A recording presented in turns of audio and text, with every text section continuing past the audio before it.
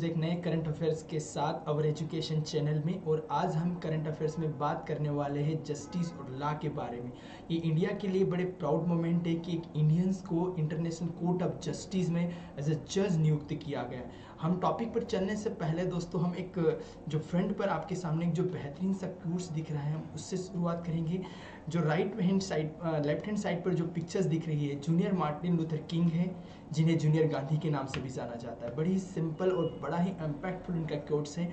Injustice anywhere is a threat to justice everywhere दुनिया में अन्याय कहीं भी है, वो किसी भी तरह का अन्याय है तो वो न्याय के लिए सबसे बड़ा खतरा है। दोस्तों, हमने इस कोर्स को इसलिए लिया क्योंकि हमारी जो न्यूज़ है आज की, वो किसी न किसी तरह से टॉपिक से रिलेटेड है लॉ कोर्ट से रिगार्डिंग दोस्तों, याद रखने का कि जो सामने पिक्चर्स है, हो सकता है एग्ज़ाम में कहीं ना कहीं ये हमारे जीएस के नॉलेज के लिए पता होना चाहिए। मार्टिन लूथर किंग है, जिन्हें जूनियर गांधी के नाम से भी जाना जाता है। ये अमेरिका में ब्लैक क्रांति लाने वाले महान क्रांतिकारी कहें या यू कहें कि बड़े ही लीडर थे। चलते हैं दोस्तों, हम आज की करंट अफेयर्स न्यूज़ पे और देखते हैं कि आज की न्यूज़ में क्या है।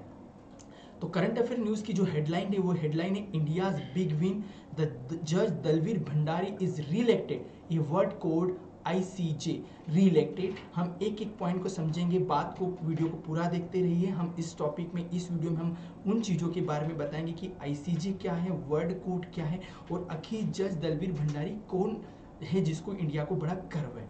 तो हम एक एक पॉइंट को लेते हुए चलते हैं। लेफ़्ट हैंड साइड पर आपको पैनल कोड दिखाई दे रहे इंटरनेशनल कोर्ट ऑफ़ जस्टिस के मेंबर की।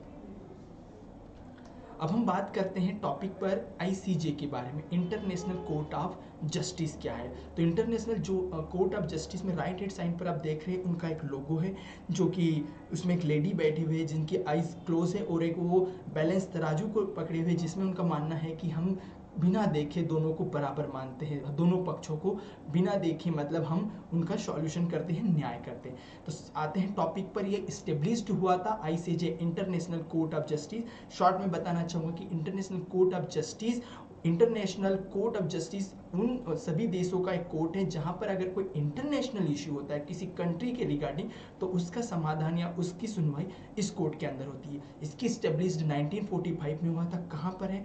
मतलब कौन से कंट्रीज़ में पार्टिसिपेट है या कौन इसके मेंबर है या किन के प्रॉब्लम्स यहाँ सुने जाते हैं? तो world wide one state parties या कंट्रीज़ इसके मेंबर है। लोकेशन कहाँ पर है? नीदरलैंड के हैग्यू में सिटी में है अथोराइज्ड किसने अथोराइज्ड किया है? तो यूएन का चार्टर ने किया है यूनाइटेड नेशन चार्टर ने आईसीजी स्टैट्यू भी इसका पार्ट है। जज टर्म लेंथ कितनी होती है? कितने दिनों तक? इसमें जो जज नियुक्त किया जाता है, उसका टाइम पीरियड है, वो है नाइन ईयर्स करंटली प्रेसिडेंट की अगर हम बात करें तो वो है रोनी अब्राहम। दोस्तों, इसमें जितने भी टॉपिक है, जितने भी पॉइंट है, कहीं ना कहीं हर पॉइंट एग्ज़ाम के उसे आपसे पूछा जा सकता है पूछा जा सकता है कि आईसीजे के प्रेसिडेंट कौन है तो आपको पता होना चाहिए रोनी अब्राहम। आईसीजे स्टेब्लिश्ड कब हुआ था? तो इसका आंसर है 1945 में। पूछा जाता है अभी वर्ल्ड वाइड इसके मेंबर कितने हैं, कितने कंट्रीज़ हैं? तो आंसर रहेगा 193 आईसीजे का कौन सी कंट्री में है? तो आंसर रहेगा नीदरलैंड और इसे अथोराइज किसने किया है? तो वह यूएन चार्टर इंपॉर्टेंट क्वेश्चन ये भी हो सकता है कि इंटरनेशनल कोर्ट ऑफ़ जस्टिस जो है, उसकी जज का टोटल टाइम पीरियड कितना है तो वो है नाइन ईयर्स हमें आशा करता हूँ आपको आईसीजे के बारे में टोटल इन्फॉर्मेशन मिल गई है। अगर आपको ये न्यूज़ याद रखनी है इन्फॉर्मेशन ये रखनी तो बिल्कुल स्क्रीनशॉट ले लीजिए, ताकि बाद में रिवीजन करने में प्रॉब्लम ना हो। चलते हैं हम आज की न्यूज़ की स्टोरी के जो मुख्य पॉइंट है, जिससे इंडिया को बड़ा गर्व है, दलवीर भंडारी। जानते हैं उनके बारे में कि कौन है दलवीर भंडारी? और छोटा सा इसने बायो इनके बारे में जानेंगे और फिर हम इस न्यूज़ को कंक्लूड करेंगे कि आज की इस न्यूज़ में क्या है। तो दलवीर भंडारी जो है, इनका बर्थ हुआ है फ़र्स्ट अक्टूबर 1947 को। ये लॉयर फैमिली से आए हैं और जस्टिस भंडारी की जो स्टडी हुई है, जोधपुर यूनिवर्सिटी से हुई इन्होंने अपने ग्रेजुएशन ह्यूमैनिटी एंड लॉ में किया है। राजस्थान हाईकोर्ट में 1968 से 1970 में इन्होंने लॉ की प्रैक्टिस की है। आफ्टर सक्सेसफुल 23 इयर्स का इन्होंने सक्सेसफुल लॉयर प्रैक्टिस के बाद इनको दिल्ली हाई कोर्ट में एज ए जज अपॉइंट किया गया। आगे जानते हैं इनके बारे में। कुछ दिनों बाद इन्हें बॉम्बे हाई कोर्ट में chief justice of the Bombay high court नियुक्त किया गया। 2005 जो कि बहुत ही ग्लोरी मोमेंट था मिस्टर भंडारी के लिए, इन्हें सुप्रीम कोर्ट एज ए जज नियुक्त किया गया। आईसीजे ऑन जून 19 2012 एक वेरी इंपॉर्टेंट दिन था जिन्हें इन्हें इंडियन अपिक्स कोर्ट ने इंटरनेशनल कोर्ट ऑफ़ जस्टिस में एज अ मेंबर नियुक्त किया गया।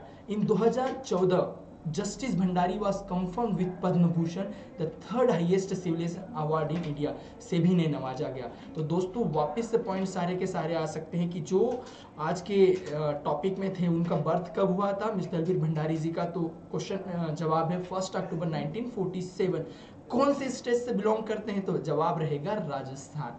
इन्होंने अपनी पढ़ाई कौन सी यूनिवर्सिटी की? तो आंसर हो सकता है जोधपुर यूनिवर्सिटी आईसीजे में जाने के जग नियुक्त होने के पहले ही कौन कौन सी कोर्ट में जज थे? तो इनकी शुरुआत हुई थी दिल्ली हाई कोर्ट 1991 से। उसके बाद ये बॉम्बे हाई कोर्ट के भी चीफ जस्टिस रहे, ये भी आपको याद रखना है।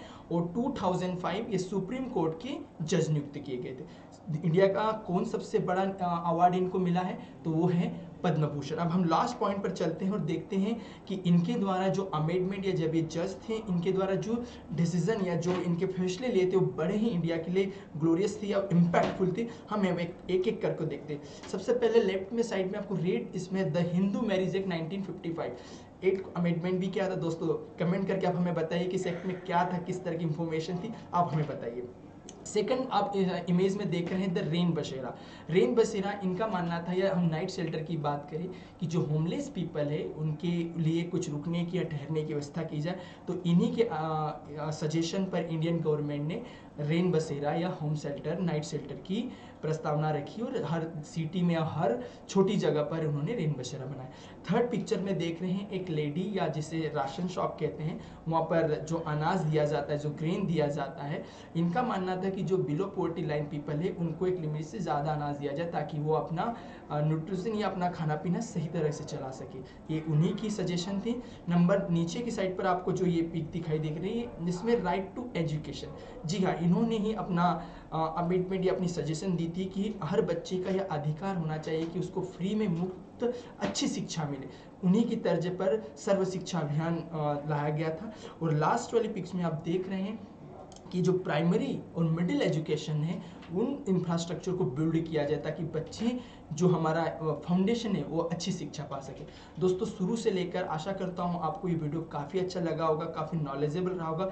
इसी तरह की और वीडियोस के लिए आप और एजुकेशन को बिल्कुल सब्सक्राइब कर सकते जान सकते और एजुकेशन के लिए। और अंत में आपका बहुत बहुत thank you thank you for watching thank you for everything have a nice day have a good day जय हिंद, जय भारत।